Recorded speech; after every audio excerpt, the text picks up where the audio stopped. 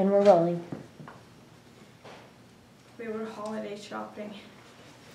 Our yearly tradition. Just stopped at the ATM to check his balance.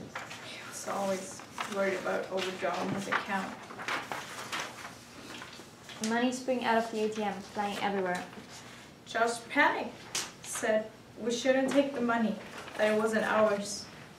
He wanted to leave. I'm the reason we stayed, the reason my brother is dead. Mia, the only person who can take the blame for your brother's death is the man who pulled the trigger. Why didn't I listen to him? He's dead because I was greedy.